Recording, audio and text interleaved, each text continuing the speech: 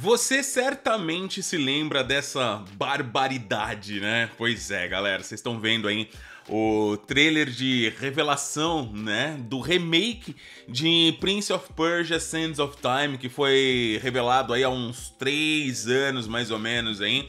E foi sem dúvida, né, um dos trailers mais hateados da internet e com muita razão, mano. Como vocês podem ver, né, no gameplay, o negócio tava muito feio, né? Pra quem não tá ligado, pra quem não tá acompanhando, é, esse remake, galera, foi uma oportunidade que um estúdio, se eu não estiver enganado, um estúdio indiano, né, um braço indiano da Ubisoft teve a oportunidade de poder fazer tal, não sei o que, um estúdio menor, com um orçamento menor e tal, mas com um projeto muito ambicioso, né? Que é o retorno do Prince of Persia até então. Hoje a gente teve outros jogos, né? O The Rogue que vai sair, a gente teve o The Lost Crown, mas até então o retorno do Prince seria realmente aí com esse jogo, né? E a galera não gostou e com razão, porque vocês olhando, vocês podem ver parece um jogo indie, né? E não criticando um jogo indie, não, tá, galera? Nada, nada a ver. Mas um jogo de baixo orçamento, é isso que eu quero dizer, entendeu? E claro que ninguém ficou feliz, a galera reclamou pra caramba. E até onde eu sei, a Ubisoft, ela tirou, né? Ela removeu. Deixa eu colocar o microfone mais aqui perto da minha hein? Aí. ela removeu o projeto desse pequeno estúdio, o que para mim não foi legal. Eu acho que eles deveriam ter enviado pessoas para lá, orçamento e condições para que eles continuassem fazendo, mas enfim, eles tiraram de lá para que a Ubisoft Montreal, né, a cabeça, o lugar onde tem mais funcionários e tudo mais, fizesse o trabalho. Bom, desde então a gente não teve mais notícias sobre Prince of Persia Remake, né, de Sands of Time, mas recentemente, há uma semana mais ou menos, né, a Insider Gaming recebeu informações privilegiadas de funcionários que trabalham na Ubisoft e inclusive mostraram para eles como o jogo está. Obviamente, né, na condição deles não mostrar para ninguém, tal, não sei o que, mas nada impedia eles de vir a público e falar o que eles viram, né? E galera, sim, como a gente já suspeitava e agora meio que confirmado por conta desse vazamento e por conta desses funcionários que foram falar, né, com o, o Tom Henderson, né, o da Insider Game, Tom Henderson Cara, sim. Prince of Time, né? O Prince of Time. Prince of Persia, Sands of Time começou do zero. Do zero mesmo. Tudo isso que vocês estão vendo aqui na tela, esquece. Tá, tá? Tudo isso que vocês estão vendo, esquece.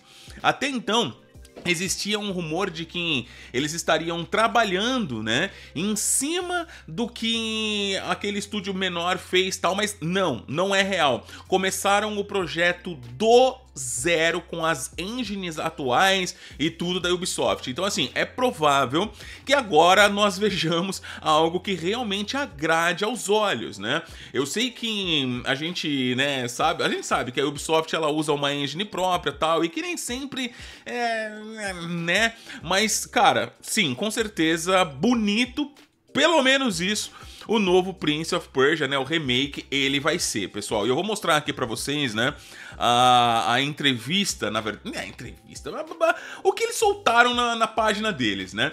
Então, olha só, exclusivo, novos detalhes sobre Prince of Persia Sands of Time. Uh, o desenvolvimento conturbado, deixa eu colocar aqui, ó. Eu não sei, galera, se vocês gostam. Até comentem aqui, por favor, tá? Eu não sei se vocês gostam de quando eu vou lendo, assim, eu vou colocando aqui junto de vocês para vocês verem, ou se eu deixo, né, a tela de gameplay para que eu vá lendo e vocês vão vendo. Bom, por enquanto eu vou deixar assim, aí vocês me falem o que vocês acham mais interessante, beleza? Deixa eu colocar aqui. Beleza, vamos lá. O desenvolvimento conturbado de Prince of Persia Sands of Time pela Ubisoft não é segredo.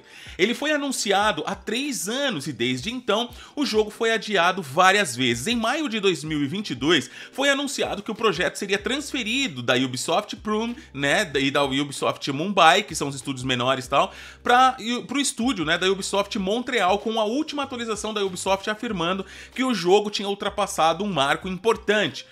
Os detalhes oficiais sobre o que significa né, o marco importante não são claros, mas o Insider Game descobriu informações exclusivas sobre o estado atual do projeto. Primeiro, esqueça tudo o que você viu e ouviu no trailer de revelação, ou seja, isso aqui que vocês estão vendo na tela agora, tá?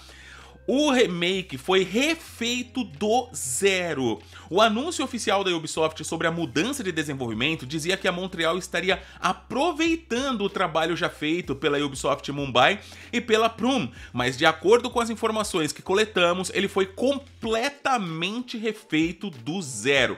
As imagens enviadas à Insider Game sob a condição de não serem divulgadas ao público, mostram que o jogo ainda está em um estágio inicial, faltam texturas, recursos tal, e infelizmente é provável que esteja longe do seu lançamento. A reformulação do remake também inclui uma abordagem mais realista, disse uma fonte.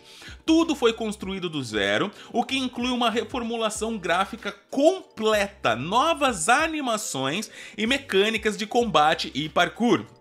O jogo, ele, olha isso, mano, o jogo foi reescrito e o trabalho de mocap refeito. Mano, basicamente, é, é, basicamente não. Literalmente, os caras pegaram tudo que os estúdios menores tinham feito e jogaram fora, entendeu? Começaram do zero. Não sei se isso é bom, se isso é ruim, mas é isso que eles fizeram. Até mesmo, ó, ó, isso aqui eu não sabia, eu não tinha... Galera, eu, geralmente eu procuro ler junto de vocês, tá? Eles falando aqui que todas as animações foram refeitas, parkour refeito, acho legal, pá. Mas eu não sabia que o jogo foi reescrito, ou seja, a, a história, né, vai ter alterações, acredito eu, tá?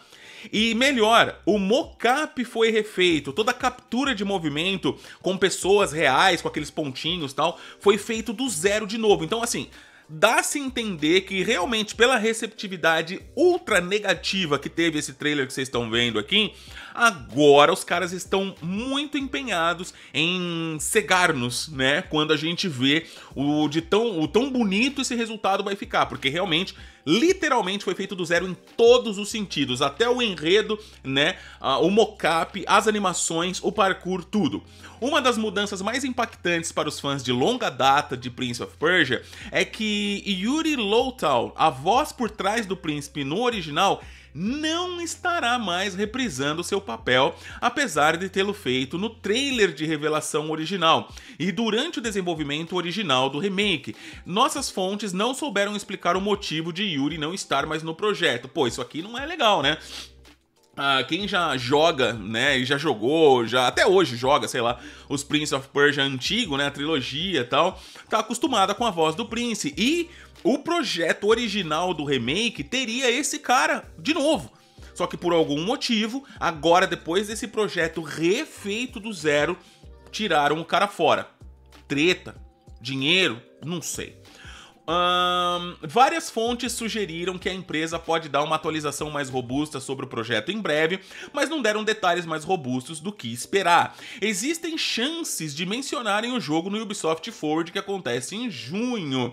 A Insider Game entrou em contato com a Ubisoft para comentar o assunto antes da publicação, e um porta-voz disse: não comentamos rumores e especulações. É óbvio, né, meus? Os caras não vai falar mesmo nada sobre isso. A gente tá ligado que não só a Ubisoft, mas uma porrada de, de estúdios, né? Eles não vão falar. Não adianta, mano. Você, é, vai, no momento certo que eles querem mostrar, eles vão comentar. Mas antes disso, sem chance. Então, basicamente, o recado é esse, galera. Para quem sempre me pergunta nos vídeos de Prince of Persia, Kalil, e o remake? Você não ouviu falar mais nada tal? Eis a atualização mais recente e fresquinha para vocês. Vazou. Literalmente vazou o pessoal já teve acesso a algumas imagens, né? O pessoal da Insider Gaming tá? E tá trazendo essas informações novas pra gente, mostrando que o projeto foi refeito do zero. Eles já viram essas imagens mostrando, ainda com falta de textura e tal, mas eles já viram o projeto. Parkour novo, novo, novo voice acting, pelo menos do ator principal, né? Uma abordagem mais realista, parkour refeito, é, o jogo foi reescrito, mocap refeito do zero também, basicamente é outro jogo. E agora nos resta, né, saber se realmente em junho eles vão pelo menos mencionar. Como eles disseram aqui, o jogo ainda tá longe de ser entregue, né? Tá, tá no comecinho tal. Mas nada impede dos caras mostrarem um teaser ou mesmo, sei lá, comentar, mostrar o logo, falar, ó, galera, está sendo feito, está sendo feito do zero. Eis aqui um trechinho para que vocês possam ver, sei lá, né? Eu tô, olha, cada dia que passa eu tô mais animado para esse Ubisoft Forward. Com certeza a gente vai ver Assassin's Creed Red lá, que é o nosso foco maior. Existe a possibilidade da gente ter uma atualização do novo Splinter Cell Remake, que eu tô louco para ver o que os caras estão fazendo. E agora, quem sabe, né? O Prince of Persia também. Bom, coloque os seus pensamentos em palavras escritas aqui no nosso comentário. Fale ah, o que, que você acha de, de tudo isso, se você é fã de longa data de Prince of Persia, se você não gosta, se para você tanto faz, tanto fez, ou se para você, pô, legal, da hora, é isso mesmo, quero ver o jogo feito com amor, com carinho, do zero. Comenta aí para que eu possa ler, deixar coraçãozinho lá e comentar também, né, o que você escreveu, tá bom? Beijo no coração, sucesso, é nóis, tamo junto, valeu!